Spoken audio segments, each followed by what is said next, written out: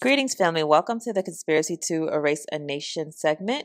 I wanted to just give you a heads up that this, again, will be an edited version of this lecture. The reason is I just use a few words that I would take out for the context of YouTube. But just to let you know what this exact lecture is on in totality, since I will be taking a part of the introduction out, is this lecture will be on what happens with the people who claim that they are the Hebrews, the people who we know know today as the Ish people, the people who are in the supposed land as we speak. Well, how did those people get to that land? How did they go from a religion that originated in Africa being the religion that is probably most associated with Palestine. So we're going to talk about that. And I just wanted to give you a heads up that it's going to be edited. But if you want to watch the full version without any edits, you can go to my Telegram. Link is in the description. Click the link. It will take you right to the application. Very easy to download. But with that, let's get started. Greetings, family. Welcome to the Afrikan Exodus Show. I'm your host, Tierney Cherie, here to you with a new video. This is the segment Conspiracy to Erase a Nation, dealing with the book that I wrote that is available on Amazon.com. Only $15.99 for the print, $9.99 for the Kindle version. And so we're going to talk about the next segment of this discussion of the true Yasharel. We're going to go into Palestine now. Last time we dealt with the Edomites, who they were, where they originated. They originated again inside of what would be modern day Sudan.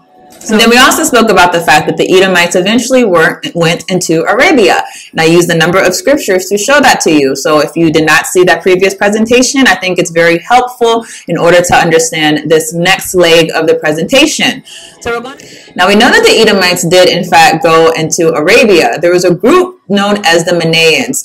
These are people who originally were from a South Arabian kingdom called Ma'in. This kingdom was eclipsed by Saba who many of you might associate with that region. And also, they gradually would make their way north into the Levant and also into Palestine. So in Jordan, the Manaeans actually founded a city known as Man. Man obviously sounds like Timan.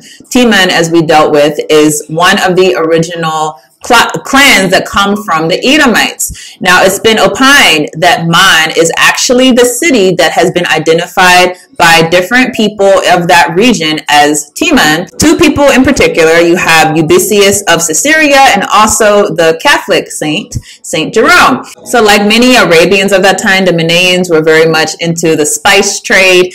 And that is actually where they are noted to have entered into Palestine. It was Ptolemy, son of Ptolemy, who dated the Manaeans entering into Palestine to around 263 BCE, when the trade of incense between the Gerrhaeans and the Manaeans was in Syria, Palestine. From there, the Manaeans become associated with a new group known as the Nazarenes inside of Palestine. So Jerome, the Catholic saint, spoke about the Nazarenes. He said that until now, a heresy is to be found in all the synagogues of the East among the Jews. It is called of the Manaeans and is cursed by the Philistines until now. Usually they are called Nazarenes. Until today, they blaspheme the Christian people in their synagogues under the name of Nazarenes. They curse him, Hamashiach, three times a day in their synagogues under the name of Nazarenes. So this tells us right here that the Nazarenes, who were Manaeans, basically became associated as being Jewish Christians. How did that happen? So we're going to go through a number of other different beliefs that are all related. I know this is going to be a lot of information thrown at you. Please pause, do a Google search if you need to take some more time to digest or just go back to the video in segments because we're going to be moving very quickly through a long swift of history. So we're talking, talking about the Sabians. The Sabians of Haran. This is a group that is known throughout the region, was known throughout the region. It has been referenced many times by different people in history, including a number of people inside of Islam have noted the Sabians of Haran. Now, something is very significant about the Sabians of Haran. While they were a polytheist group, and they are said to have originated in Haran in Turkey. Um, they also were known to be people of the book. So again, they worship the god Shemesh, the sun god. They worship Sin, the moon god. They worship Saturn. They worship J- Jupiter. They worship Mars, Venus, and Mercury. But at the same time, they were identified or identified themselves as being people of the book, followers of Torah. In addition, some people have also noted that the Sabians seem to originate from a group of exiled Hebrews. Do I know if they were true Hebrews? I don't know.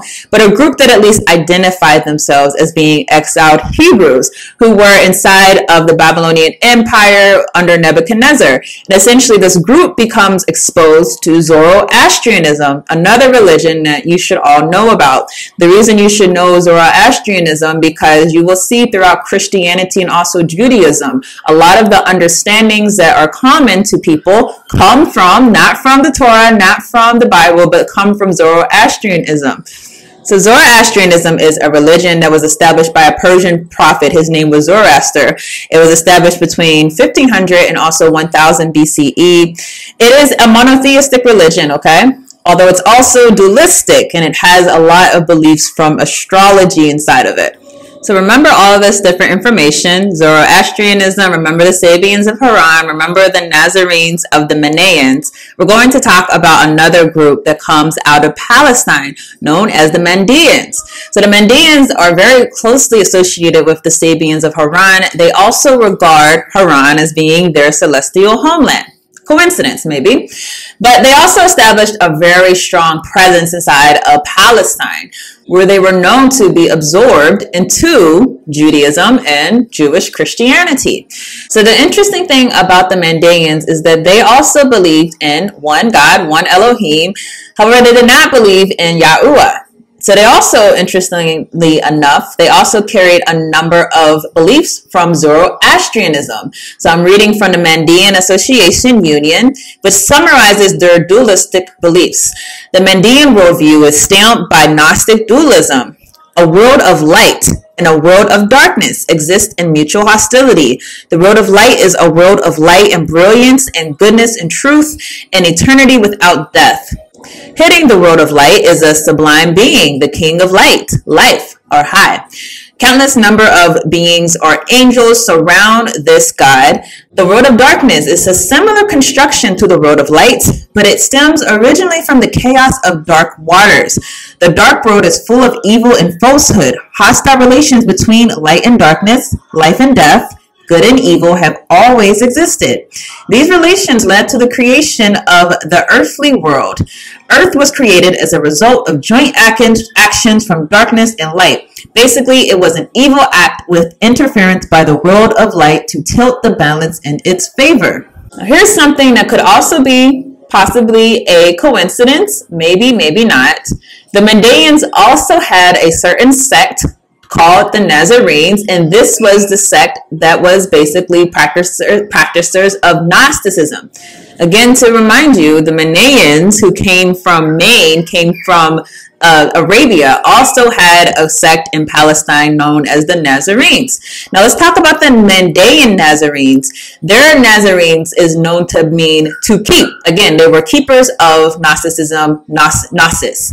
So according to the historian Epiphanius, inside of the Panarion of Epiphanius of Salamis, Book 1, Section 18, Nazarenes were Jews by nationality, originally from Gileadites, Bashanites, and from the Transjordan. They acknowledged Moses and believed that he had received laws. Not this law, however, but some other. And so they were Jews who kept all the Jewish observances, but they would not offer sacrifice or eat meat. They considered it unlawful to eat meat or make sacrifices with it. They claimed that these books are fictions and that none of these customs were instituted by the fathers. This was the difference between the Nazarenes and the others. So again, let's go back to the similarities that we've seen. Manaeans have a Nazarenes. They are Jewish Christians. Mandeans have a Nazarene. They identify themselves as Jewish practicers originally, right? Here's the very interesting thing. If you actually go through Mandean texts, it says that they originally worshipped the Elohim of the Bible or the Elohim of the Yahudim. That they actually originally worshiped the same one as Judaism. According to the Mandaeans, essentially the people who practiced Judaism became corrupted by their teachings and they are the ones who are practicing their faith rightfully. So how does this all tie in and come together? Well, essentially what I lay out inside of the book Conspiracy to Erase a Nation is that Judaism originates from Mandaeanism. You have people who are adherents to the Torah, brought the Torah from where it originates from in East Africa, and brought it into Palestine. From there, mixing it with a number of beliefs such as Zoroastrianism. This group, which branches off from the Mandaeans, become what we know today as Judaism. So what I'm going to show you next time that we do this segment is I'm going to show you a proof that not only did the Mandaeans basically are they the original people who become Judaism, but they themselves recognize and agree that they are not the original Hebrews, but they were actually converts to the faith. So that will be next time. But thank you all for watching, and Yah willing, I will see you in the next video.